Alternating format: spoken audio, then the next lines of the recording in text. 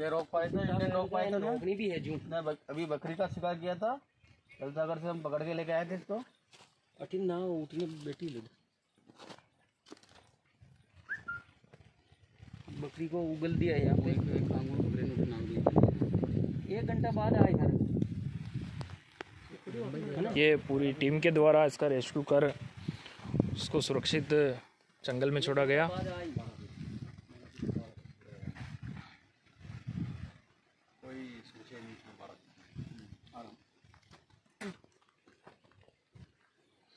ये हमारे पत्रकार साहब कुलदीप जी राव।